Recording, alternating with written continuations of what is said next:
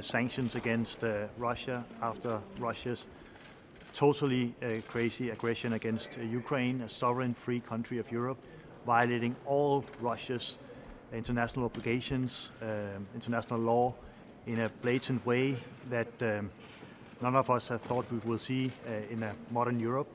So um, Denmark we will go to, to uh, with our colleagues to discuss uh, both the sanctions that we agree upon, not only in Europe, but also with our partners in US, Canada, UK, Australia, um, uh, Japan, South Korea, and so on. It's very important that that the front is united against um, Putin and, and the way he's acting.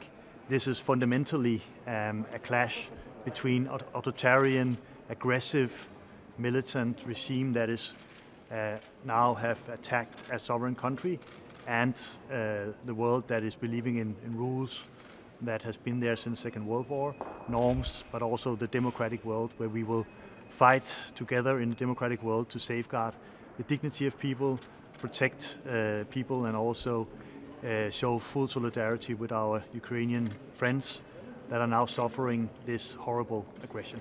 Minister, what about uh, freezing uh, Lavrov's and Putin's assets as Financial Times wrote? Is it on the table? You, will you discuss this issue today?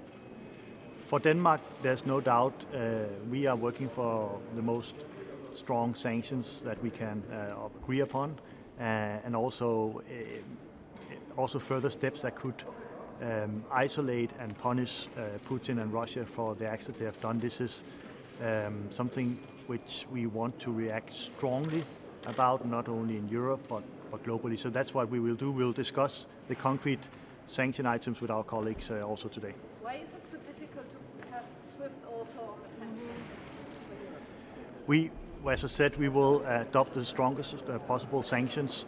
Uh, the package which we're going to adopt is a very strong package, uh, hitting also the uh, the bank sector in, in uh, Russia, uh, Russian oligarchs, Russian economy, and so on, military people with Putin and people around him we are going to work for the strongest possible sanctions um, from the Danish side, and we will stand united with our European colleagues, with, um, with our colleagues across the Atlantic, US, uh, UK, and so on.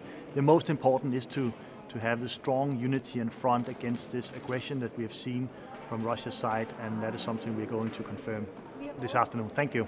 Uh,